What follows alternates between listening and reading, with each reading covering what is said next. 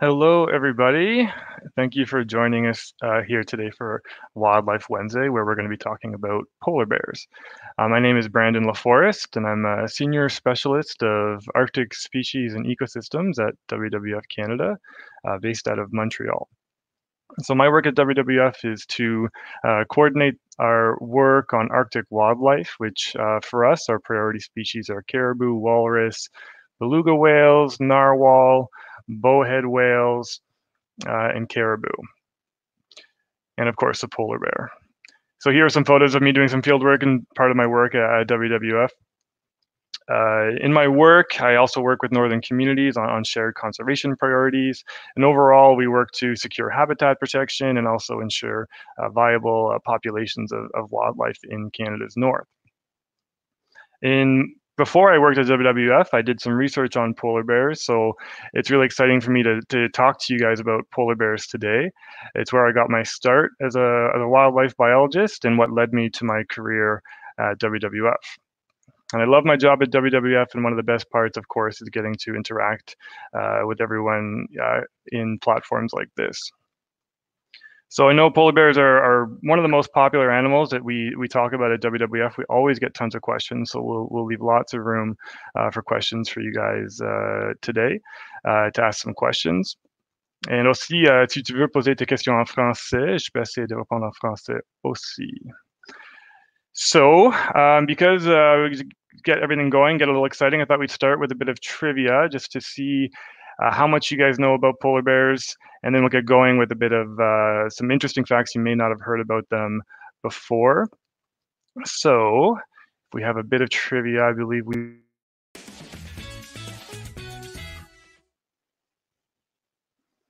Okay.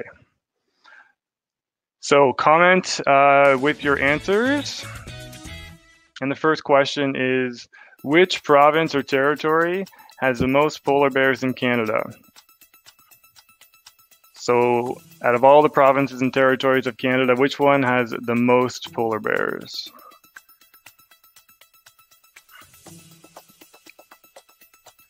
Do you think it's British Columbia, Prince Edward Island, the Northwest Territories?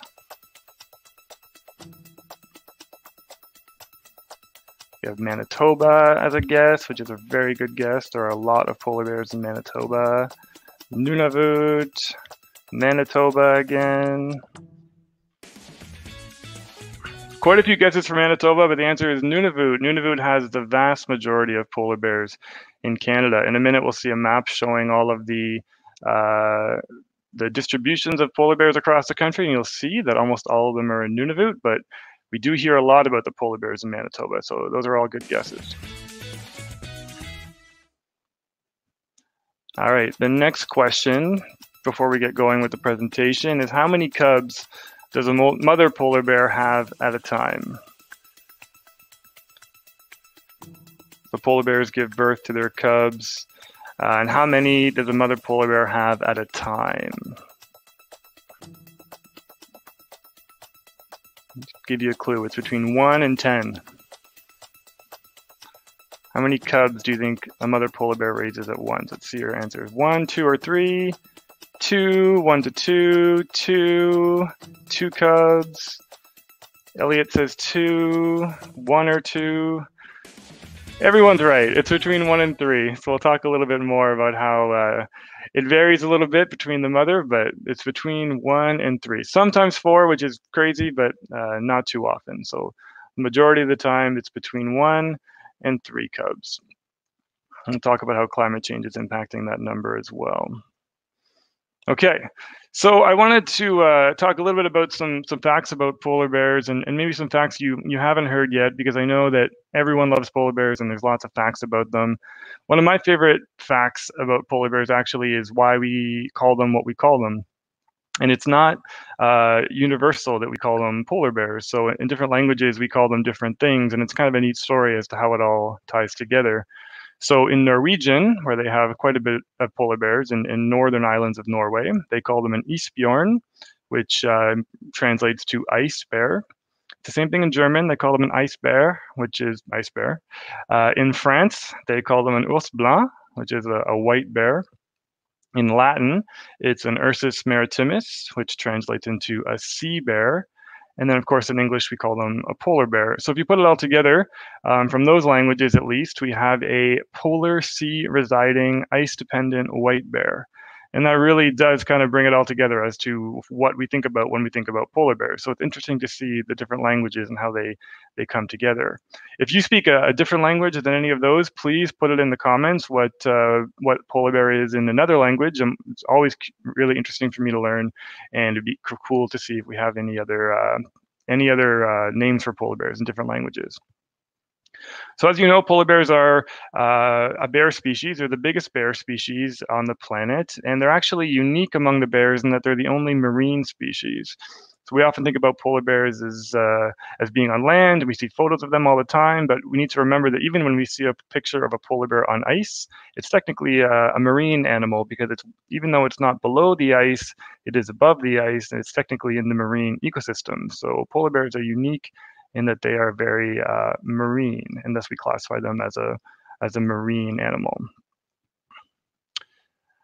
Um, so I, I, to answer that question kind of of where polar bears are in Canada, we have a map here that shows you their distribution across the country. So you need to orient yourself that we're looking straight down at the North Pole, and we have Canada uh, on the left and Russia and Europe over on the right. And what you see here are the different subpopulations of polar bears around the world. And polar bears are divided into 19 subpopulations, which are delineated based on the genetics of the polar bears and also the movements of the polar bears. So the polar bears all stick within their subpopulation, but they all contribute to a, a broader global population. And the global population of polar bears is roughly 26,000 animals, but it's a, a, bit of a guess because there's lots of information we don't have, as you can see from this map here. Any of the subpopulations that are in uh, light gray are areas that we don't have a good accurate estimate of how many polar bears there are. Uh, the red subpopulations are ones that are declining and uh, the green ones are ones that are actually increasing. And then the blue ones are subpopulations that are staying stable. So as you can see, it's not a, a clear picture across uh, the range of polar bears in terms of what the population is doing. Some animals are going up, some populations are going down, some are remaining the same, and some we just don't know yet. So we always need to continue to gather more information. Um, but in Canada, polar bears are listed as a species of special concern, which means that if we uh, don't act to preserve them, they may slide into that category of threatened. After threatened, they become endangered, and after endangered is extinct, which is a long ways down the road. But it's a species of special concern largely because of the effects of climate change. And the effects of climate change are being seen in the north already, but they're going to get worse and worse as time goes on.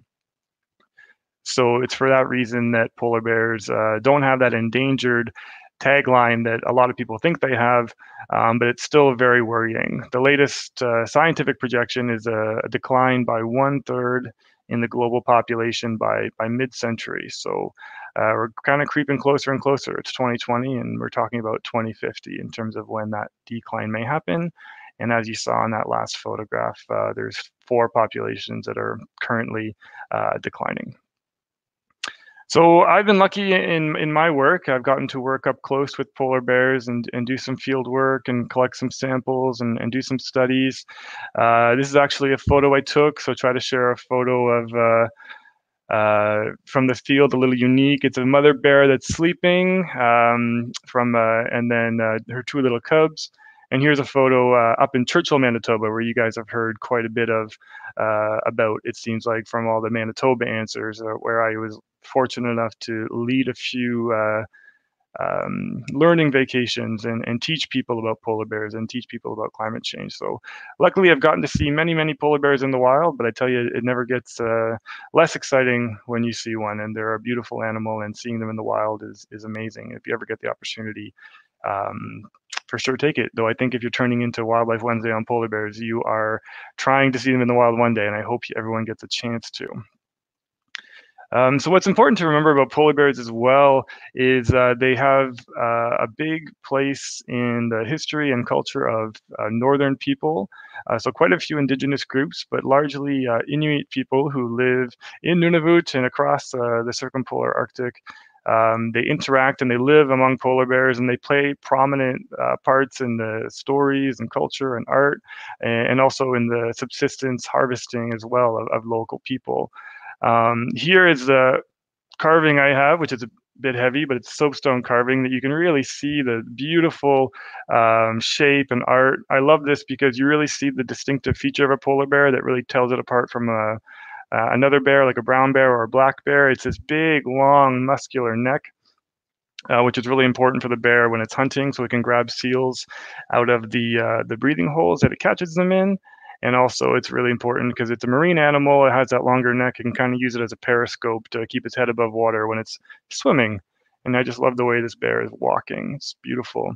And above my shoulder, you can see another carving that's too heavy. I didn't want to take it down, but it's uh, it depicts more of a artistic rendition of a polar bear. So it's a polar bear uh, diving, and it's a little bit more of um, uh, artistic view of polar bears versus uh, this one here, which is more of a kind of anatomically correct polar bear.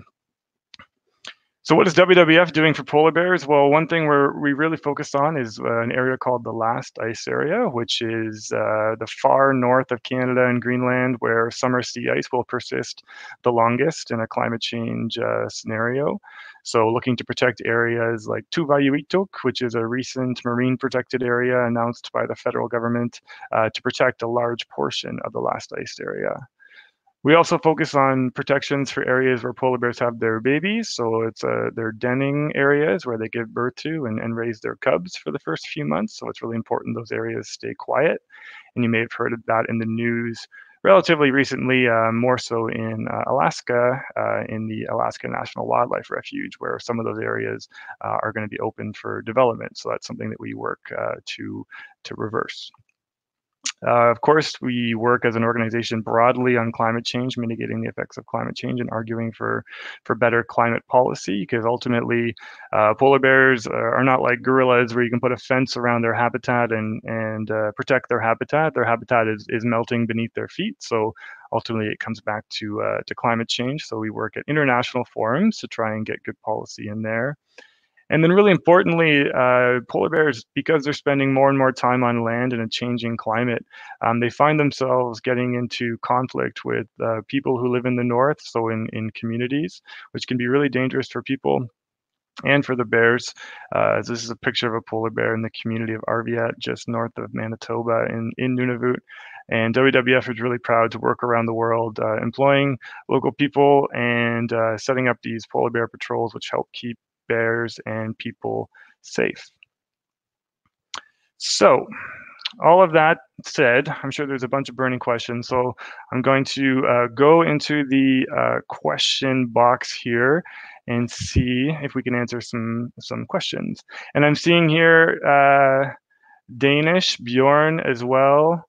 also Polar in Spanish, super interesting. I can't pronounce the Italian one, but it's really cool, and even Serbian there. So thanks, guys, for, for sharing those. I'm definitely to look those up later. All right, so a question I have here uh, from Violet is, do polar bears change color? And that's actually a really good question because a lot of Arctic animals, Arctic mammals rather, do change color, and even Arctic birds, and because the system changes so much, and you go from snow to a brown, uh, more uh, summer. But polar bears uh, do not change color, so they stay white all year round. Uh, they don't change like an Arctic fox or a ptarmigan would change color. But a really good question.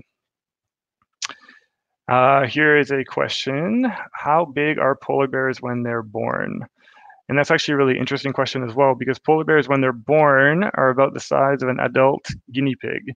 So they're quite small, and they're born completely pink and completely helpless, and they're born in a den uh, with the mother, and the mother doesn't come out of the den. She stays in the den with them for, for multiple months. And uh, it's when they're born, the polar bears immediately uh, start feeding off of the mother, and she gives them her milk.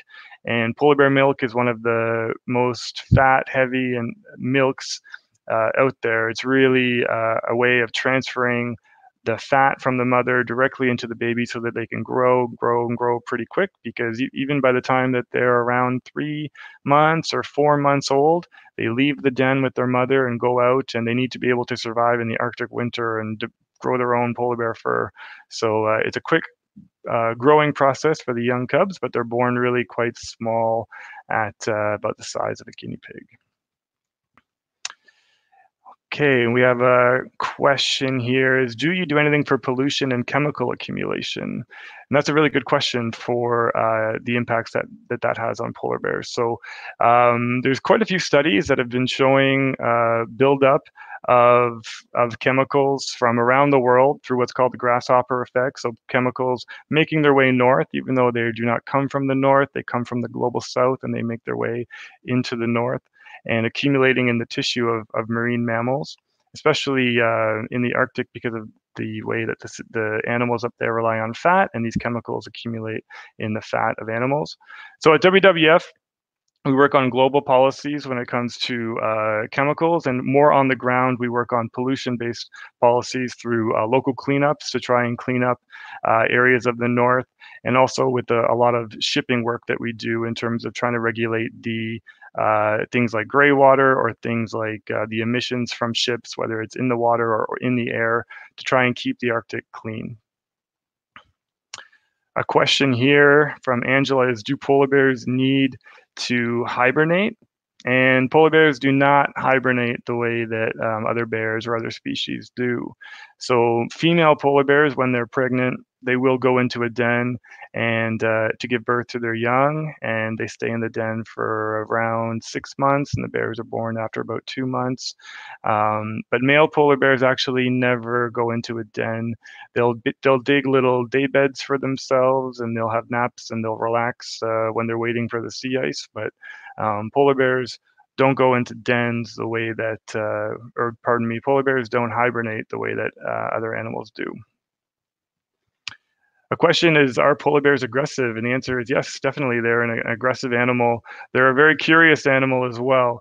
Um, but uh, polar bears are aggressive, and it's one of the reasons that WWF is really proud to work in the north to try and uh, keep polar bears and people safe by keeping polar bears and people as far away as possible and uh, trying to prevent polar bears from coming into northern communities as, as much as as much as you can. Um, you may have seen uh, last year that all the over the news that Russian village that was overrun with polar bears. So they weren't super aggressive. They were more just curious about what's going on. But all that to say, they, they can be uh, quite dangerous. So you wouldn't want to encounter a polar bear um, out in the wild uh, on your own. There's not a lot of places to, to go on the tundra. Elliot would like to know, do polar bears have predators besides orcas? And even orca is a bit of a stretch because there's not too many orcas in the north, but they are going into the north a little bit more and more um, uh, as sea ice uh, declines. So for sure, polar bears are at risk of uh, being hunted by orcas. But other than orcas, no, polar bears do not have any other uh, natural predators. Okay, how do polar bears make their den? So uh, when polar bears uh, make their dens, it's actually pretty interesting. There's two different strategies. The first is if you live in in the south. So if you live in uh, like Ontario as, as a polar bear, or Manitoba, or even parts of Quebec, um, you you mostly build your den by digging a hole into the ground. So it's very mossy and it's a lot of dirt. And as the snow falls on you, so you're digging your den in October and the snow is starting to fall, uh, the, the den actually forms on top of you and you form it as it, the snow is falling and you build the den kind of on top of you. If you live further north as a polar bear, like in the Beaufort Sea or in uh, the northern islands of Canada, you dig actually into the snow as a polar bear and you make your den uh, that way. And then I'm just going to take a look. Uh, Brooklyn asks, how old do polar bears get? And uh, polar bears in the wild uh, live to around 25 to 30 years if you're a female. So females live a little bit longer, and the males have a, a bit of a tougher life. Uh, because they uh, they fight more amongst each other in terms of trying to to breed with the females. So males typically live 20 to 25 years, and females is, is 25 to uh, 30 years. Quick question from Cheryl What is my most memorable polar bear encounter? And I'll use that as a segue to show you my favorite polar bear item, which is one of my favorite encounters, is this skull that I have actually that I found uh, out on the tundra when I was doing work. So this polar bear had passed away years and years before I came across the skull, and it was just on the tundra, just preserved. And you can tell it's an older bear because the teeth are quite chipped, the two big canines. But I love this skull because it's a beautiful uh, representation of a bear, and it shows you one of the most impressive parts of a polar bear, which is its nose. So if you look really close into the nose of a polar bear, you see all those nasal folds, which just show you the strength and ability of a polar bear to, to smell things. And polar bears can actually uh, smell seals from a kilometer away and approach the uh, the the hole and, and wait to to hunt them, the breathing hole. So I love that skull just because it uh, it's a beautiful skull, but it also shows that that uh, strength of uh, polar bears. And Orso Bianco in Italian, so like French, I guess, focusing on the the white. Thanks, Carla. Okay. Um, someone's asking if I've ever tasted polar bear milk, and I definitely have not. Uh, polar bear milk, I from what I from what I've heard, it's quite thick, and uh, I don't think it would be too tasty at all. But probably very tasty for polar bear cubs. Okay, so on that, I think we can move on and go to a bit of trivia to, to wrap things up. Um, if there's any questions, I'll try and take them uh, as we do some trivia, or if not, we'll go back and make sure we answer any questions that came up during the live that I may have missed, and apologies for that. So, do some trivia, and we'll answer a few more facts about polar bears through these questions.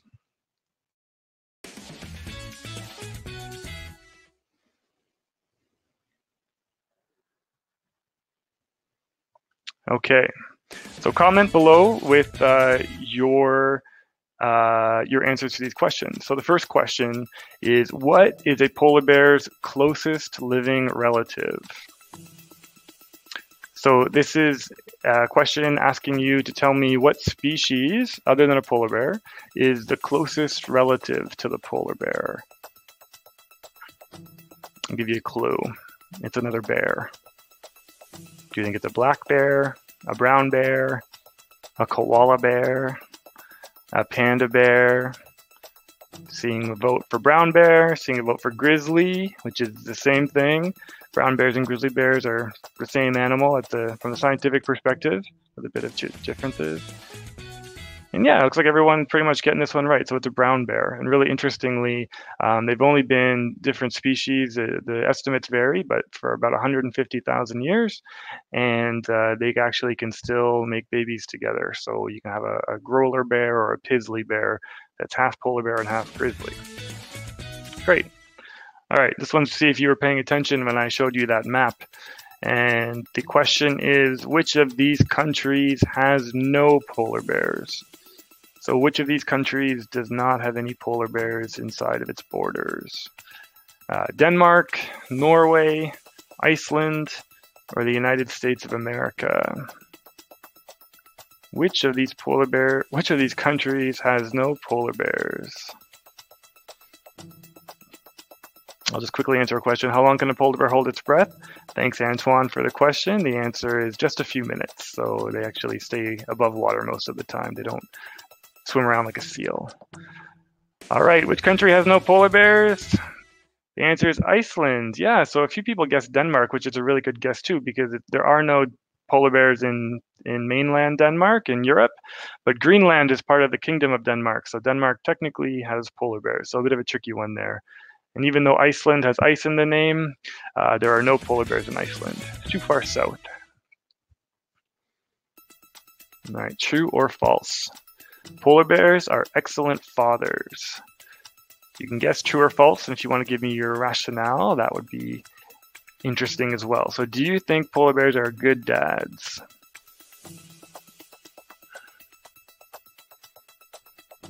We have a question from Bruce, uh, who is asking if polar bears hang out in groups, and they largely don't. Sometimes they gather on the coast together, but uh, largely polar bears don't hang out in groups. They're on their own or just with their mother.